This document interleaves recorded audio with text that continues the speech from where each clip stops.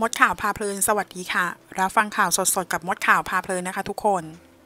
สั่งปิดม .2 ทั้งชั้น หลังมีนักเรียนติดโควิด -19 ค่ะ เมื่อวันที่ 29 พฤศจิกายน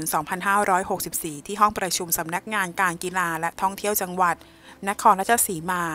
ศูนย์บัญชาการเหตุการณ์ตอบโต้โควิด -19 นายแพทย์สมบัติวัฒนะ รองนายแพทย์สาธารณสุขจังหวัดนครราชสีมาค่ะ เปิดเผยสถานการณ์การแพร่กระจายของโควิด -19 ระลอกใหม่นะคะ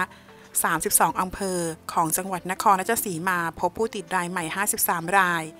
เป็นผู้ติดนอกพื้นที่ 2 รายและในพื้นที่ 51 ราย รวมติดสะสม 32,751 ราย รักษาหายแล้ว 31,099 ราย ยังคงรักษาอยู่ 1,400 รายค่ะทางนี้ได้เฝ้าระวังแล้วก็ควบคุมการแพร่กระจายของโควิดนะคะ ของคลัสเตอร์เครือญาติชุมชน ปาริชาติ เขตเทศบาลนคร นครราชสีมา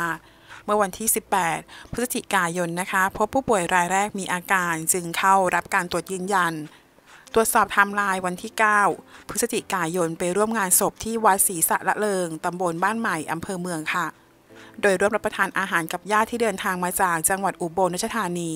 หลังเดินทางกลับญาติโยมนะคะ ได้โทรศัพท์มาแจ้งว่าติดโควิด -19 ชุดควบคุมได้ลงพื้นที่ค้นหากลุ่มเสี่ยงที่มีบ้านพัก อยู่ภายในชุมชนตั้งอยู่ในละแวกมิตรภาพซอย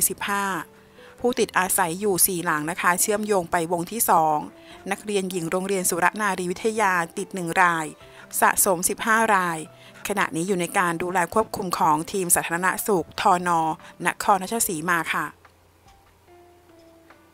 หลังรับทราบมีนักเรียนชั้นมัธยมศึกษาปีที่ 2 ติดโควิดนะคะ ได้ประสานอาสาสมัครหน่วยกู้ภัยสว่างเมตตาโคราช ขอสนับสนุนทำความสะอาดในห้องเรียนแล้วก็จุดสัมผัสเสี่ยง